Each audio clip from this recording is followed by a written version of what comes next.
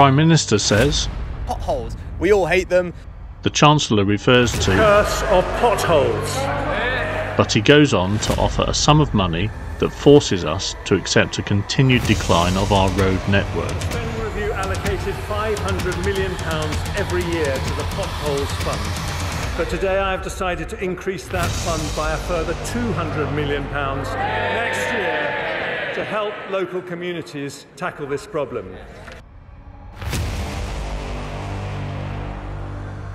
Before the last local elections, one MP pointed out, even at the best of times, it's a running joke among MPs that all politics is about potholes. The high level problem with potholes is that they are not taken seriously. There is a huge mismatch between the public anger and the political debate, which sees it all as rather embarrassing. All road users, including motorcyclists, face inconvenience and damage to their vehicles. Patrick told us I had a pothole accident on the B4361 in Shropshire. National speed limit 60 miles an hour, I hit a pothole on a left hand bend. I did not come off as the tyre didn't deflate immediately, it took a minute for the tyre repressure alarm to come on, but it cracked my front carbon wheel. But all too often, the results can be far worse. Bruce told us I'm off sick at the moment as a result of the accident. The police who attended were convinced it was the pothole that brought me off. I was probably at no more than 25 to 30 miles an hour when it happened, but I ended up with six fractured ribs, three fractured vertebrae, broken collarbone, and a pneumothorax on my left lung. Simply avoiding the potholes and the material that comes out of them also poses a serious risk to motorcyclists. One rider said, I tried to avoid a pothole on Good Friday at a T junction with a downhill camber. I got my foot down, but on the gravel from the pothole. The weight of the bike took me over and resulted in a cracked fairing, broken indicator, scratches to the fairing, and a broken right foot. Injury can also result from road surfaces that councils do not accept need repair. Andrew told us I had an accident due to potholes in February 2022. I tried to claim against the council, but they argued it wasn't a pothole due to it not being deep enough, even though there were several potholes and lots of resulting gravel making the road very uneven and unsafe. The accident resulted in damage to my bike and a broken foot for myself. These are far from isolated stories. MAG's analysis of contributory factors in Stats 19 data has shown that on average, road surface defects contribute to 70 riders being seriously injured and 4 being killed every year. The true number may be much higher. Some road safety professionals claim that any single vehicle motorcycle RTC is due to rider error. But how often is the real error trusting in authorities to maintain the roads? The most recent Asphalt Industry Alliance report on the state of local roads in England and Wales shows that resurfacing now takes place on average less than once per century. Local authority highway budget shortfalls in 2022 3 were up to record levels. And the cost of the backlog of repairs to bring the network back up to scratch is just over £14 billion. This is the highest it has ever been. Hiya, my name is Rick Green. I'm the chair of the Asphalt Industry Alliance, known as the AIA. We hold this annual survey, um, which we send out to all the local authorities across England and Wales. It doesn't include Scotland. Uh, this year is the 27th time we've done that, so we've now got quite a long trend of data that you know we could compare with previous years. The issue is not confined to England and Wales. We do speak to colleagues in Scotland, and whilst they kind of hold their own version of, of, of this, and, and the results are similar. You know, th th this th this isn't something that's unique to England and Wales. They're just not included in this particular report. But when we talk to them, they're seeing the same trends, they're saying the same things, and, and I'd be very, very surprised if Northern Ireland isn't much Yeah. the same. Funding is clearly the starting point for solving the issue. Since about 2014, we've been running what we call a limited service policy on essential maintenance. That's all the stuff like potholes, verges, gully emptying, signs, road markings, all that kind of stuff that's heavily safety focused. And essentially, the, the policy requires us to only repair the most significant defects. So that's the deepest potholes or problems that are most likely to impact driver or pedestrian safety. We do it simply because we don't have the money to do more. Everybody can see that the quality of the road network isn't what it used to be because just like your house or your car, things that aren't repaired in time end up needing more repair and costing more. But if we don't invest in road maintenance, we can't expect the quality of the road network to get any better. We are asking all MPs to push the Treasury to make a meaningful intervention. But the overarching thing is to do with how much would it cost to fix it, and that's at an all-time high. Uh, it's um, 14 billion pounds is what would be required to bring the, the, the state of the roads back to a level where they could maintain them. Uh, on an annual basis, there's a shortfall in the amount of funding that they've received. However, that shortfall has been going on for years, so it's not surprising that the overall backlog is growing each year because each year they've not got enough money to do as much as they'd like. The state of the roads in England and Wales are as bad as they've ever been. This is the local authority network now, not the strategic network. Um, is as bad as it's ever been. Well, certainly for as long as we've done this survey for 27 years, and the amount they get in each year in order to fix it is as bad as it's been as well. I, I work closely with some of these local authorities and know the people involved and, and understand the systems and techniques and materials they're using. And I, I think they're doing a very, very difficult job.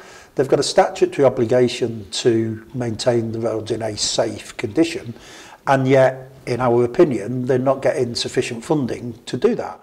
The fundamental problem is they haven't got enough money. And if they had more money, they could definitely make an improvement. Yeah. Uh, we are promoting a petition to provoke a parliamentary debate, but would welcome any intervention from any MP to get this debate on the agenda.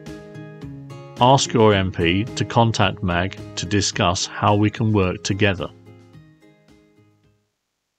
But it doesn't end there. We are not letting local authorities off the hook. They needn't think that funding is a blanket excuse for inaction. All government money is our money. We don't want it spaffed up the wall.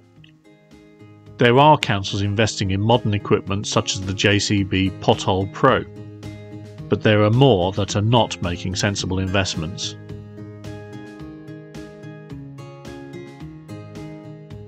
So we're here today with the JCB Pothole Pro in Stoke-on-Trent. This is a revolutionary machine that is able to cut, crop and clean in a single unit. It's fully road legal, it can road just like a car at 40 kilometres an hour and it's able to fix potholes four times quicker and at half the cost. What we tried to do with this machine is focus on permanent repairs. Much like when you go to the dentist, when you've got tooth decay, the dentist removes all of that damaged material before placing in the filling. That's what we tried to do with the road surface. Remove all of that damage decay, all the cracks and crazing that a lot of riders experience on roads today in the UK, creating then a permanent repair. The repairs that our customers achieve with the Pothole Pro is top caliber. The reason for that is we take out all of the damaged material rather than the traditional throw and go methodology whereby you're simply putting material into the, the cavity that exists today. What we tried to do is excavate all of the damaged material, therefore a permanent repair that lasts. So this machine was tried and tested on UK roads, working with councils like Stoke-on-Trent that are looking for innovation, looking for best practice. And that's what we've developed this machine around, the challenges that councils face today. The potholes is a very emotive topic. Everyone has a story about potholes, but it's an incredibly serious issue. Riders and bikers experience not only the economical aspect, but also safety. Sadly, lives are lost as a result of, of incorrect repair methods. We want to eradicate that, and we should. We are asking our members to speak or write to their local councillors, making inquiries to get the reassurances that sound investment in best practice and the most efficient kit is a top priority. So say we've got five inspectors that go out and it's all risk rated uh, on the road type, the condition of the road, you know, where the actual potholes are actionable. So something like this would be picked up as an emergency next to the ironwork and obviously the depth of it as well. The, the inspectors will look at if there's anything in the wheel tracks of the vehicles, uh, especially cars or motorbikes, or any turning circles or anywhere where you know two wheels might uh, be an issue. We do preventive patching with it as well, and then especially for motorbikes, if we have an oil spillage uh, and we can't put the granules down to remove it, this machine will go out and mill the top layer of surface off to reopen that road and make it safe. Yeah, I'm passionate about doing the first time fix obviously on every repair and this machine allows us to get that perfect repair and the permanent repair every time. You know, there is other machines, vehicles on the market, but you know, nothing compares to this of giving that permanent repair and making sure that road surface lasts. We know that until funding is significantly increased, local authorities will need to triage their roads, making tough decisions on what and when to repair or resurface. But is this process adequate? The current code of practice, well managed highway infrastructure, says the level of response should be determined on the basis of risk assessment. It also mentions that the degree of risk from a pothole depends upon not merely its depth but also its surface area and location. But do assessors have the intimate understanding of the specific risks posed to motorcyclists? These are the, ones that cause us most concern. Coming off that bend, it's almost right on the perfect safe line for a motorcycle. And any, any motorcyclist could hit that. That could throw someone off. And then quickly followed by another one. And then yes, you're quick, getting a double rump here. Quickly followed by more on the other side of the bend. Do, do you prefer to be called Mr. Pothole or Mark? Um, doesn't matter as long as you fix the roads, that's my attitude. There's requirements on, on local authorities in terms of what they need to fill and there's there's guidelines for how deep and how wide a pothole needs to be. Is that all written in stone or is it more more to do with the risk that, that is faced by the road user? It used to be more written in stone in terms of depths. That's changed to a risk model now. That gives them more latitude. And in fact, over the time I've been campaigning, they've accepted deeper and larger potholes before they actually intervene on their intervention criteria. And in terms of positioning, looking at some of the risks that I see on the roads, they're not paying, attention, particularly those on two wheels, into where bikers tend to run in, in between the middle two tracks of the vehicles.